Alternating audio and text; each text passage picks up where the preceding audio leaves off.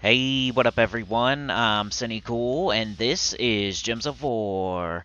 And today I have three teams for you for the Illithia faction event, and uh, two of them are like my favorites, and I like to talk about them, and they're fun to use in my opinion and then one of them is topical. It uses Stone Slicer, and it's the low-level team. So let's get into it here.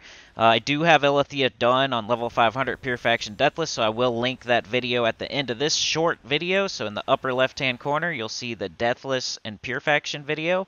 So if you need that, it should be there for you. All right, here's the first team, one of my favorites. It's probably my favorite team right now. It's the uh, Psycho Mega Missy.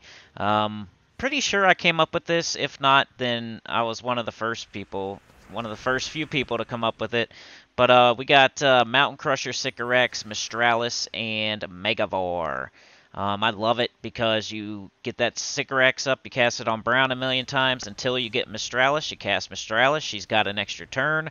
You go back to casting your Sycorax a million times on Brown. You cast Mistralis when she gets up, she's got an extra turn. She does a lot of damage. All the while, the Megavore doing the death below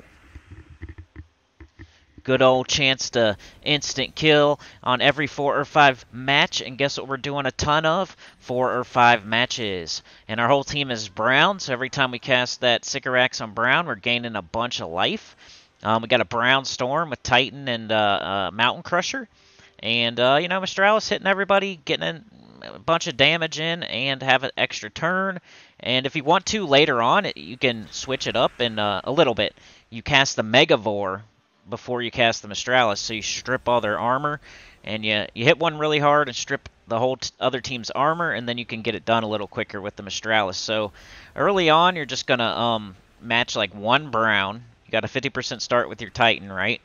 So you match like one brown, you get up your Mountain Crusher, you cast it. That usually gets up your Sycorax.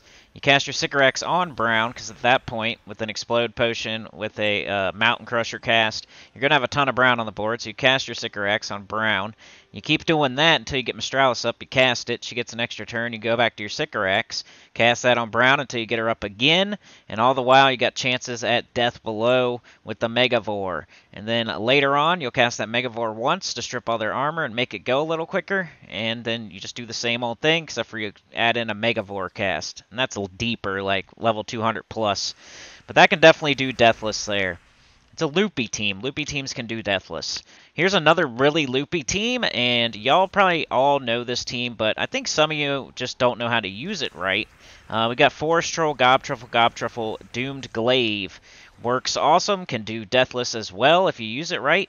Um, you get up Forest Troll by matching brown or blue. You use exactly what I'm using here. Don't use anything else. Don't use um, Osha's Tome or Gob Sticker or, you know, use the Doomed Glaive. There's reasons why. It's got a Green Storm. It's got an Entangle. It, it changes brown to skulls. Like, it's perfect for this team. So please use the Doomed Glaive if you got it. Don't be using something else.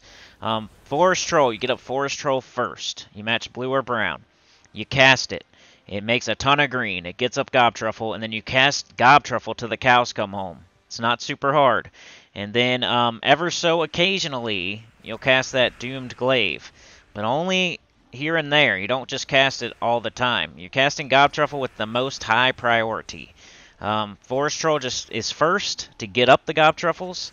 Then after that, it's the Gob Truffles. Highest priority. If there's a Gob Truffle up, you're casting it. And the and if there's not a Gob Truffle up and there's Forest Troll and Doomed Glaive, you're casting the Forest Troll.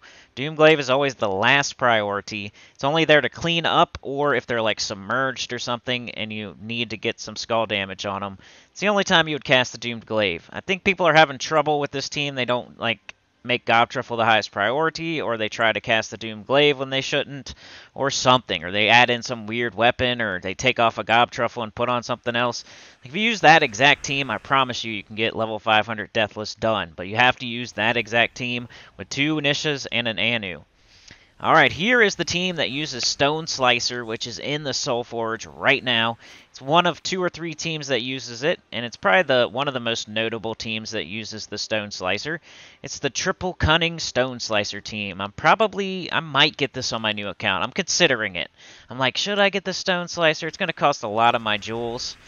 But uh, you know, should I wait for like Nimbus Bow or Rage Reaver or something else? Like I think Rope Dart already went by, but um, I don't know. Should I wait for a different weapon? I don't know. Let me in the comments. What do you guys think? Should I get the Stone Slicer on my new account so I can have a Guardian team, like a real Guardian team?